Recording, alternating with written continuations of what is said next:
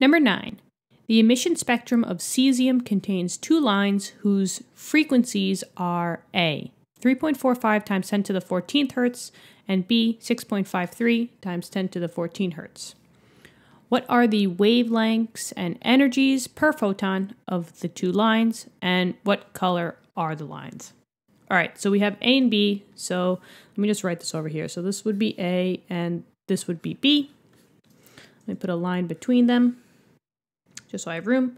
Okay, now we did a very similar question with this one before, so go back to that one if you want like a full, you know, breakdown, but this one will be kind of, you know, a more quicker, quick pace. All right, so they give you the frequency, so that's a V, right? Frequency is 3.45 times 10 to the 14th hertz for this one. Now just know that hertz is the same thing as seconds to the negative one per second. So it's still the standard unit, all right?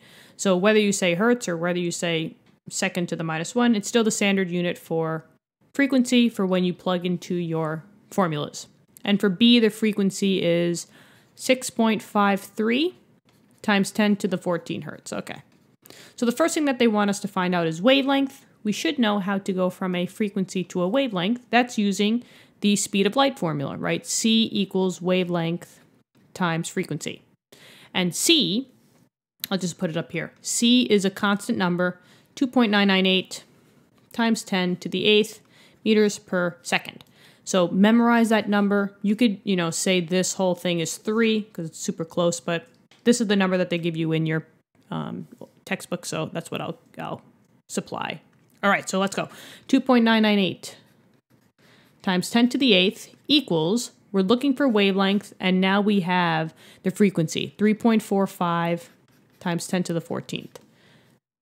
Solve for wavelength, so divide by 3.45 times 10 to the 14th on both sides times 10 to the 14th. Okay, so 2.998 times 10 to the 8th divided by 3.45 times 10 to the 14th. And your wavelength for A would be basically, we'll say 8 point, 8.69 times 10 to the negative 7th meters. So that's the first one.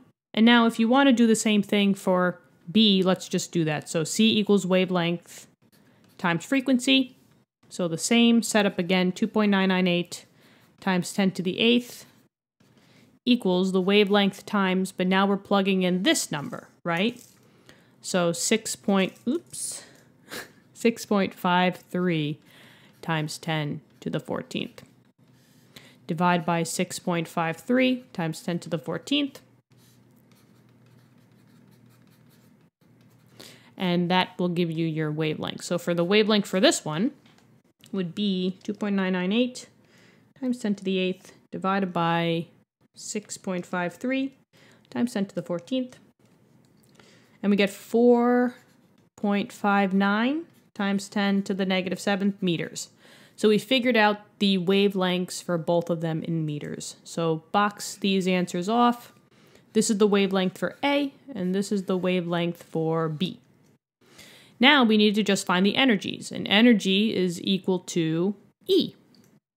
So we could use the formula E equals HV, or you could use E equals HC over wavelength. They're the same exact thing, so whichever one you prefer. I'm just going to use this one because it's less variables.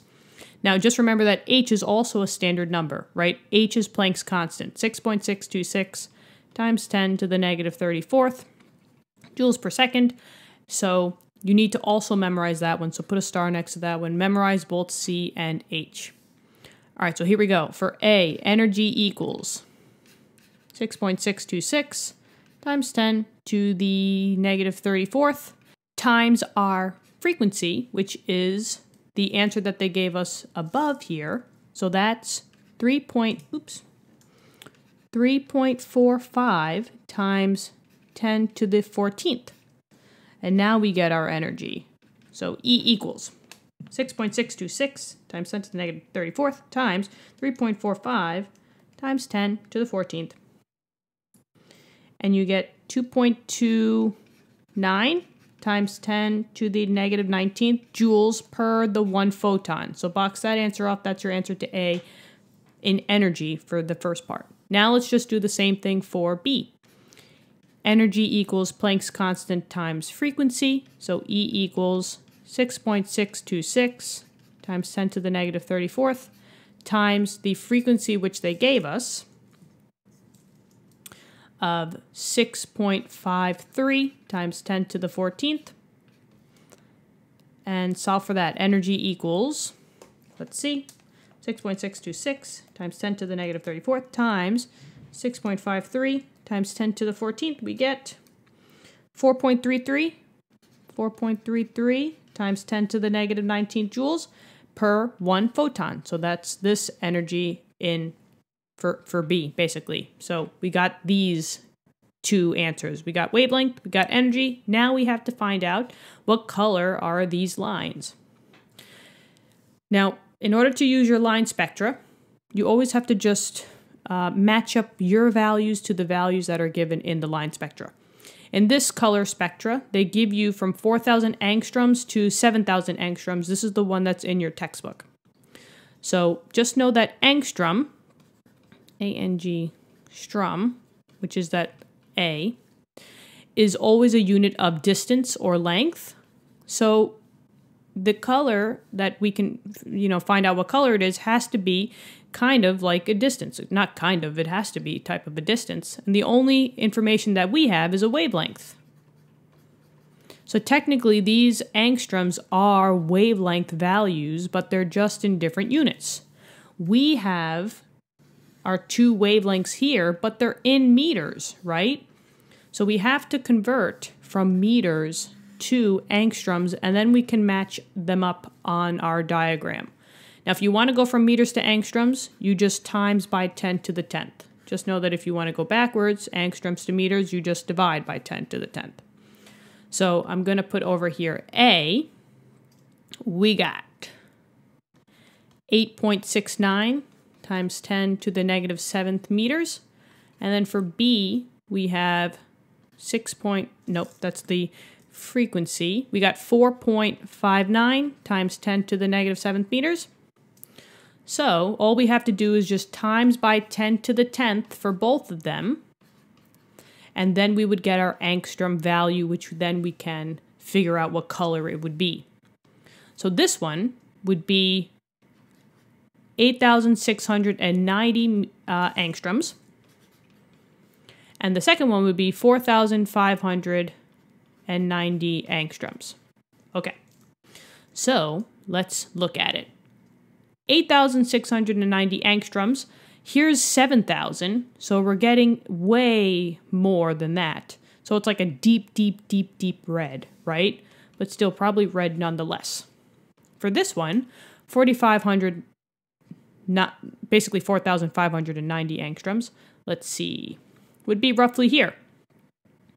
So in this, if I just change the color, this is basically just a deep blue. So you would see one line in your line spectra as red, and the other one would be a deep blue. That's it, basically. All right, guys. Thanks so much for tuning in. Hopefully this helped. If it did, hit the like button. Let me know down in the comments. Love to hear from you guys. I'll respond back. We could have a we could have a chit chat. Um, but yeah, if you want, you could click the subscribe button too. That would not only help you with knowing when our next batch of questions come out, but it will give access to everybody else to know about this channel so that they can also get help with the OpenStax textbooks. And getting that sense of community is cool. So yeah, Thank you so much.